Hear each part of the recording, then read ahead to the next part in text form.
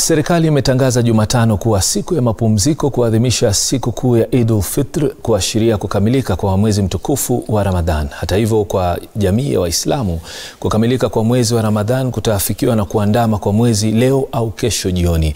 Lakini kama anavyotuarifu Francis Mtalaki, pilka pilka za Eid tayari zimeanza kupamba moto. Ikiwa ni siku ya 29 ya mwezi wa Ramadhan kwa mujibu wa kalenda ya Kiislamu, jamii ya Waislamu nchini inasubiri kuandama kwa mwezi kama ishara ya kukamilika kwa mwezi huu. Ndio, maandalizi yangu yote yako sawasawa, watoto nimewachukulia kila kitu, mwenyewe niko sawa ya nasubiria tu siku tunaangalia mwezi, tukiuona tunafungua. Inawezekana leo kuwa mwisho wa mwezi wa Ramadhani au tukakamilisha tena siku moja ambayo itakuwa ni ya kesho. Kwa hivyo mwezi leo 29 ndio siku ambayo tunaangalia mwezi. Tukiuona hivi jioni, basi kesho itakuwa ni Idi.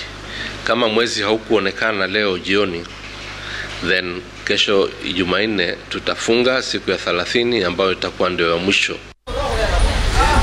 Pilikapilika za maandalizi zimenoga katika maduka ya jumla na maeneo ya ila uchumi unaonekana kuwa bana zaidi. Shopping yenyewe si ya maana, hali ya uchumi ni mbaya sana, pesa hazionekani. Biashara iko chini sana, biashara ni mbaya, hali ya uchumi imesorota brother. Ah, nilikuwa na elfu kumi na tano lakini wapi, venye nanunua hata nikimwaya hapa huwezi amini.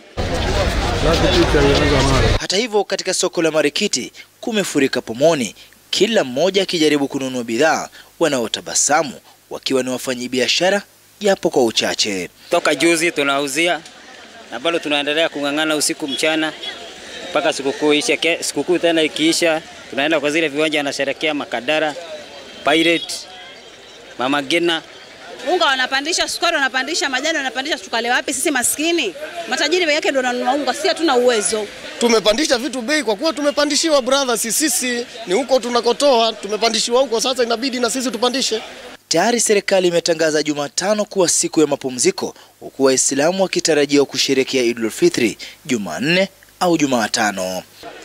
Licha ya hali ngumu ya maisha, baadhi yao wamejikakamua na kununua baadhi ya bidhaa wanapojiandaa katika sherehe za Idul Fitri.